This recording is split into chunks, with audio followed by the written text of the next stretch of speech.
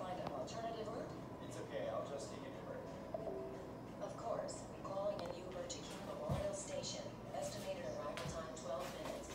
With Vinci, your headphones are now your personal assistant, your search engine, your phone, and so much more. Call from power on. Hey, Ryan. Did you decide on flowers?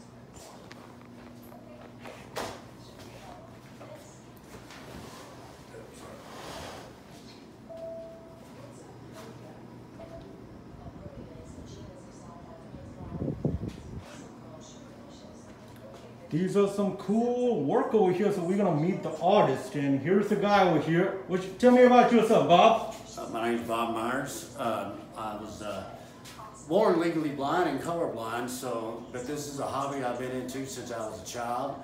Uh, tried to go to college for it, couldn't get into college. Uh, my father went blind from uh, same macular degeneration, same thing that I had. Um, but this is what my art, what I've been doing uh, since the COVID-19. I've just been kind of keep myself separated and give myself something to do and get my brain to keep tinkering. And you're born legally blind and colorblind, right? Yes, That's crazy, man. That's great work over here. just trying to get some work. Okay, good deal, man. I'm gonna take some videos and this is a big piece over here. Very nice. And, and talk talk to me about this Boston thing. Uh, yeah, Boston is actually started out as the uh, first uh, uh, Boston album cover from the band Boston, and uh, as I worked on it, uh, it turned into two separate drawings at once. You, you kind of had to have a, a third eye or just look with your peripheral to see it, but there's like two drawings in one. It's the guitar as a spaceship with the flames, and then you got a helmet it looks like a kind of a space alien uh, with the beard, with the twisted beard, and so on and so forth. But uh, my prize position is actually this right here. That's your prize possession. Tell me about that. What is that? Uh, it, this is actually a Rick and Morty. This, uh, I got it from a buddy's T-shirt, and it starts out as it goes like this. This is a wormhole, and that's a wormhole over here. So it's a, they time travel. They shot through the wormhole, scorched the earth as they blew past it, disrupted the heavens, pissed off the Imperial force.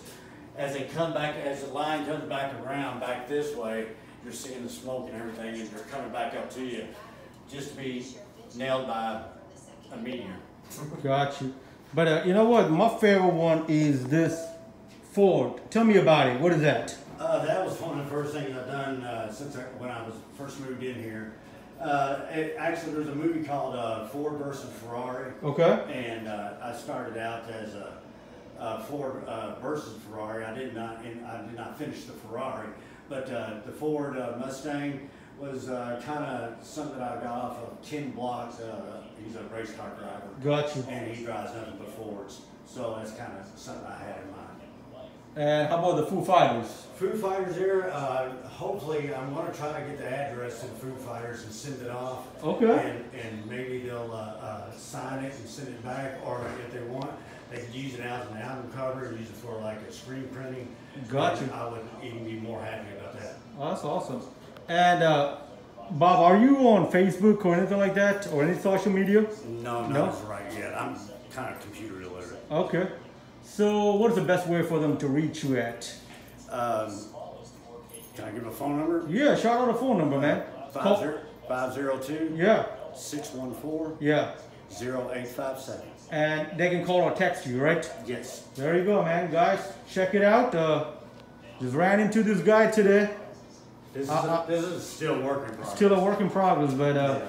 guy who's colorblind, born colorblind, and was the other one colorblind? And Macular degeneration. there you go. And he can do all these things. And you know, the guy looked like a teenager. I thought he was like 20 years old, but hey, uh, he he got the skills, and I was blown away. So if anybody wanna give Bob a call, and you know he can paint this on the wall or give him ideas, he's ready to work. He's a willing guy, ready to work.